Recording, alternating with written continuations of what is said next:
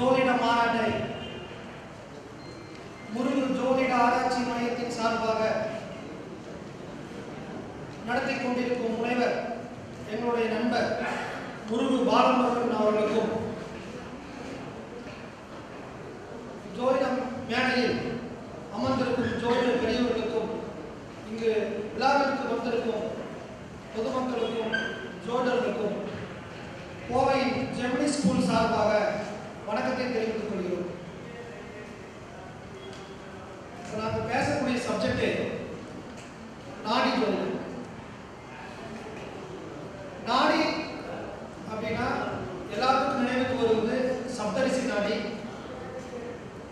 ஈஸ்வர நாடி துருகிடத்து நாடி இந்த மாதிரி எண்ணற்ற நாடிகள் நம்ம ஜோதிடர்கள் பயன்படுத்தி கொண்டிருக்கிறோம். இந்த பிருகுநந்தி நாடினுடைய வளர்ச்சி தான் அடுத்த பரிணாமம் தான் ஜெர்மனியின் நாடி ஜோதிடம் அப்படின்னு நம்ம ஒரு புத்தகத்தை எழுதி தமிழ்நாட்டில் இந்தியா முழுவதும்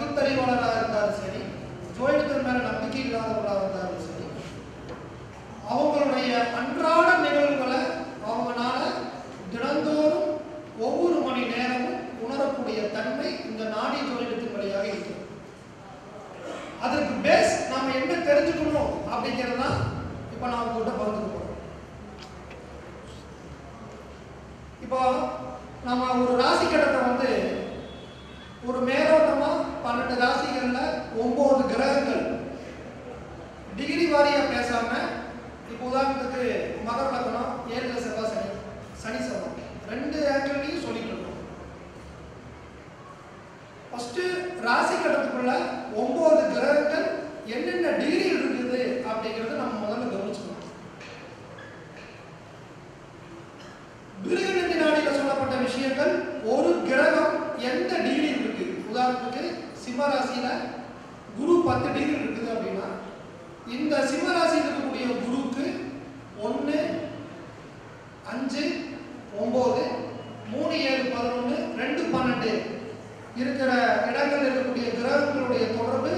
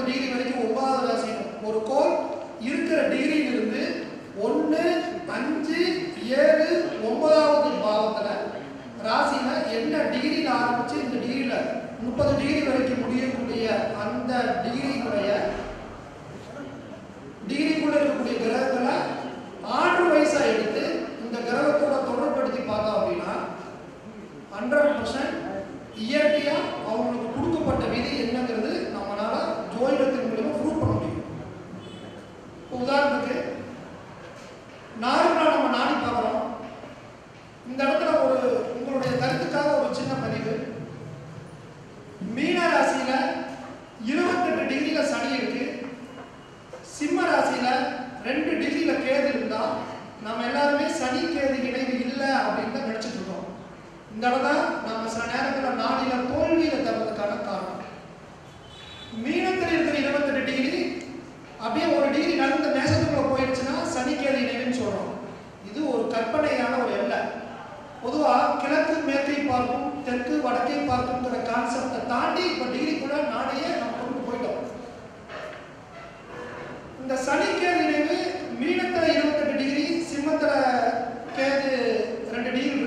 இந்த சனி கேதுக்கு சொல்லப்பட்ட இணைவுக்கான பலன் ஜாதகர் அனுபவிச்சுட்டு இருக்கிறாங்க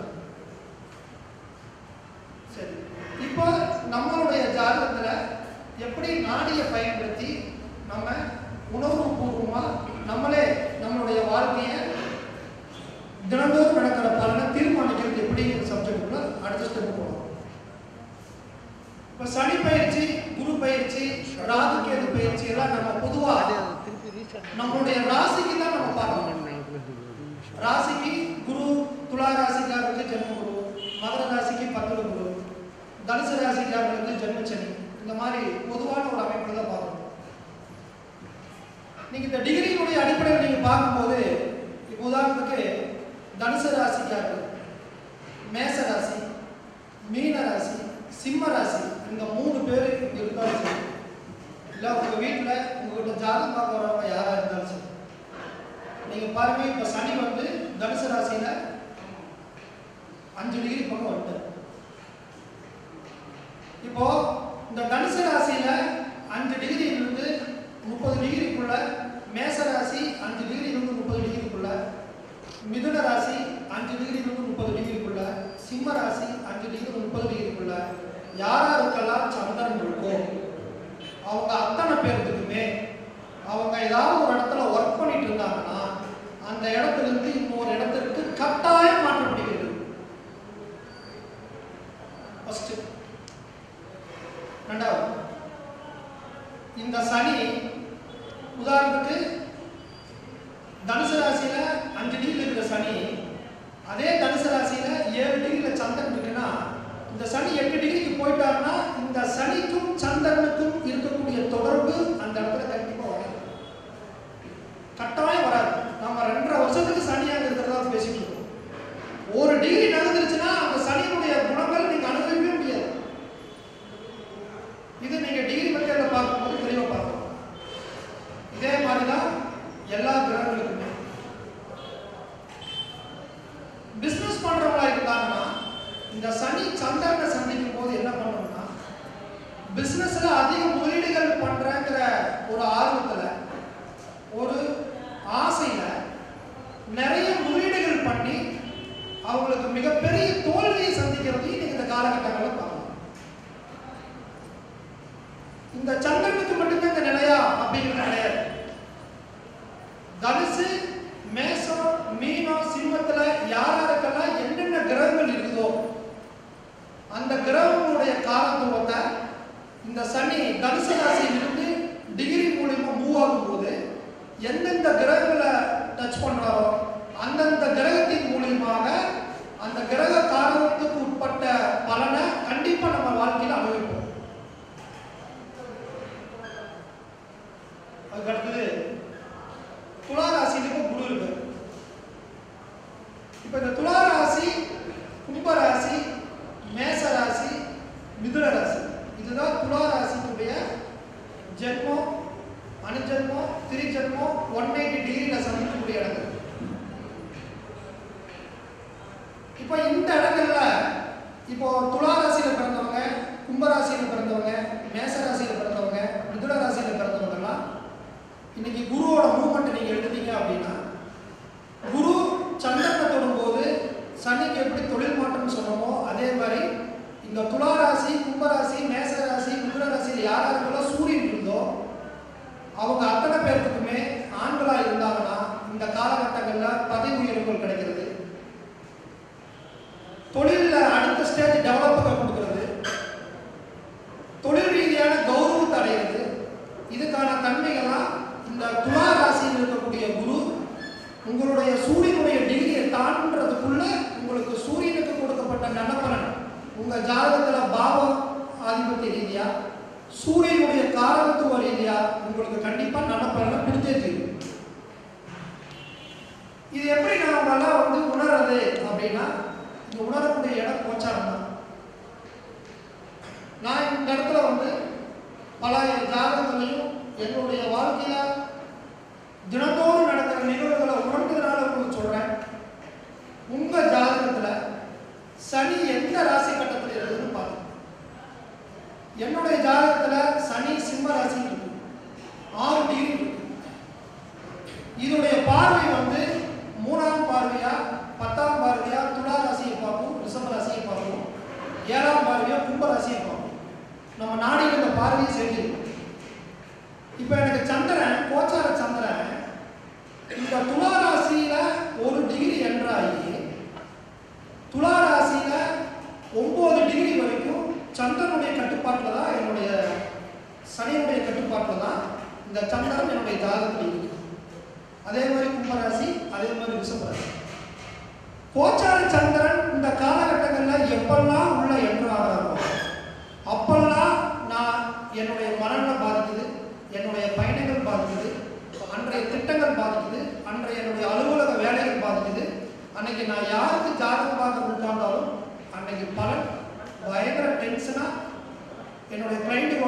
disturbance happen and now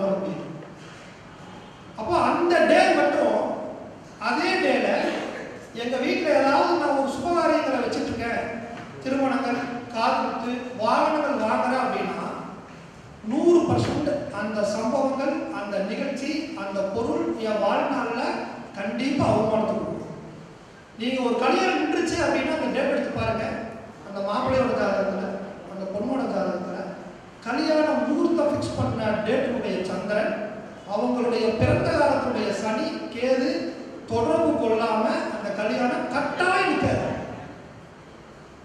அப்போ நம்ம முகூர்த்தம் குறிக்கும் போதே நீங்க எதுக்கு வேணாலும் முகூர்த்தம் முடிச்சுக்கலாம். ஒரு துணி எடுக்கிறதுக்கு மாங்கலை வாங்குறதுக்கு வாகனம் வாங்குறது திருமணத்துக்கு குழந்தைகளை பள்ளியில சேர்க்கறதுக்கு எதுக்கு வேணாலும் நீங்க முகூர்த்தம் முடிச்சுக்கலாம். நீங்க முகூர்த்தம் குறிக்கக்கூடிய நாளின் சந்திரன். நீங்கள் எதுக்காக முகூர்த்தம் குறிக்கிறீங்களோ அந்த முகூர்த்தத்துக்கான காரக கிரகம். அன்னைக்கு கோச்சாரத்துல சனி கேதுடைய தொடர்புகள் பெற்றிருந்தால் அந்த பலனை நீங்கள் வாழ்நாள் ஃபுல்லா அனுபவிக்க முடியாது. அது திரும்ப திரும்ப உங்களுக்கு சிரமங்களை கொடுத்துட்டே இருக்கும். இப்ப அடுத்தது கேது. இப்ப இந்த நம்ம ஜாதகங்கள்ல ஒன்பது கிரகங்கள் ஒன்பது விதமான காலத்துவங்களை வெளிப்படுத்தி நம்ம வாழ்க்கையில பாதிக்கிறது. அதிகமாக நம்மளுக்கு துக்கங்களை தரக்கூடிய பிளானட்டுகளில் ஃபஸ்ட்டு சனி அதுக்கு அடுத்தது கேது அதுக்கு அடுத்தது செவ்வாய். மற்ற கிரகங்கள் அவருடைய தாக்கங்கள் இவ்வளவு தூர பாதிப்புகள் நாடியினுடைய அடிப்படையில் பார்க்கும்போது கண்டிப்பாக வராது. இந்த சனி என்ன பண்ணுவார்னா வாழ்ந்துட்டே எனக்கு வாழ்ந்து கிடைக்கலைங்கிற ஒரு மனநிலை அவர் ஒதுங்கிடுவார். ஆனால் கேது தான் இப்போ மகர ராசியில மகர ராசி கன்னி ராசி ரிஷப ராசியில யார் பிறந்திருந்தாலும் சரி அல்லது அந்த இடத்துல உங்களுக்கு சனி இருந்தாலும் சரி குரு இருந்தாலும் சரி இப்ப இந்த மகர ரிஷப கன்னியில பிறந்தவங்களுக்கு கேது கோச்சாரத்துல உள்ள இருபத்தி மூணு டிகிரி இருபத்தி நாலு டிகிரி பக்கம் வந்துட்டு இருபத்தி நாலு இருபத்தி மூணு டிகிரி பக்கம் வந்துட்டாரு. இந்த கேதுடைய தாக்கம் என்ன பண்ணும்னா சந்திரன்னா உங்களுடைய தாயார் உங்களுடைய மனநிலை. இந்த நான்கு ராசியில் பிறந்தவர்களுக்கு கண்டிப்பா மன உளைச்சலையும் இந்த காலகட்டங்களில் நீங்க போடக்கூடிய திட்டங்கள் வருத்தத்தையும் இந்த காலகட்டங்களில் உங்களுக்கு மிகப்பெரிய அவமானத்தையும் உடல் ரீதியான பாதிப்பையும் கட்டாயம் உண்மை என்னுடைய பையனோட ஜாதகத்தில் என் ஒய்ஃப் பாதிச்சிருக்கு என் பையன்